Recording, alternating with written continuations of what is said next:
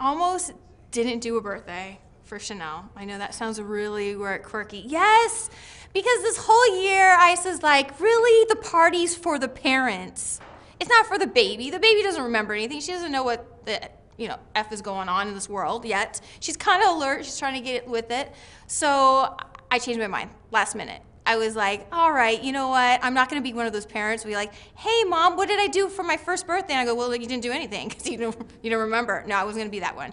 I was like, all right, we're going to do it in a big way. So we're going to go and have her first birthday at Sugar Factory in Manhattan because we love the food there. We love the, the place. We love the, the people. And so we're just going to go celebrate it there. Just have a whole bunch of our friends and family and, uh, you know, just have fun, I guess, baby style. I don't know what you do at a party, but we'll figure it out. We're actually going to be bringing a lot of this into the party. So this is kind of the same theme inspired. And we got Sweet Duchess, you know, Sweet Duchess did the cake, um, they did the cupcakes and all the good sweet stuff. So we're bringing all the stuff that we you see today in our photo shoot, and we're inquire we're putting that all in our little party for her first birthday. So it'll be kind of cute. I don't know how it's gonna go down. You know, you just kind of put a party together. It's easier to do a party when you're like older Someone asked me, so what games are you to have for first party? Um, let me Google that. Hold on, I'm not sure. let me work on that part. So uh, I still have a couple more weeks to work on that.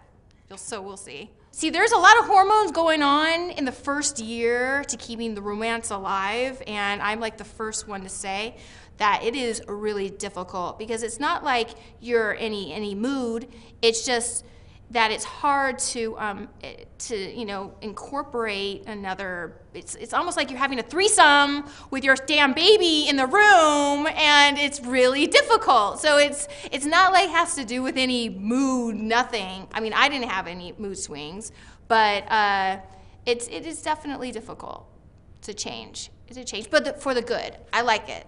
I like it a lot. I mean, you can you can have sexy time any time of the year, whatever with this baby, you're like loving it too.